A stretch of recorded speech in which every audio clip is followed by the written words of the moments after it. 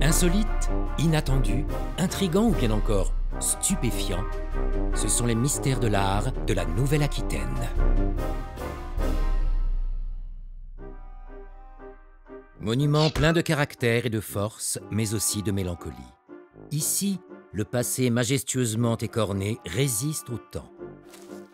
Promenade en forêt sur le site des Vaux.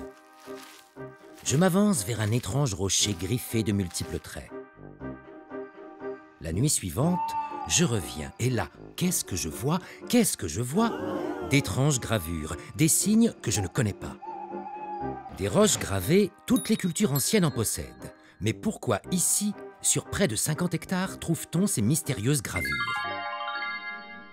En 1876, un chasseur découvre ces œuvres.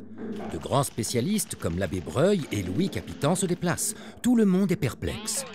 Les signes gravés sur ces rochers n'existent nulle part ailleurs. Début 20e, le docteur Baudouin, un archéologue réputé, pense qu'il s'agit d'un site néolithique dédié au soleil. Cette pierre en serait le temple.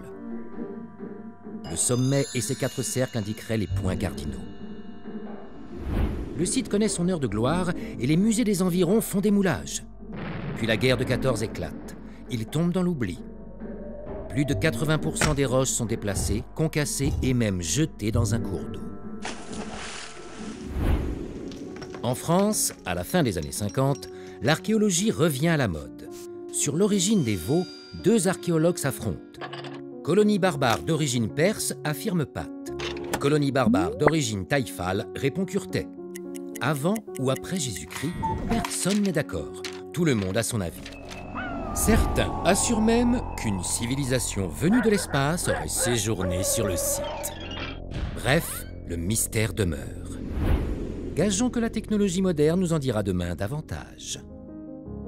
Désormais, le site se visite.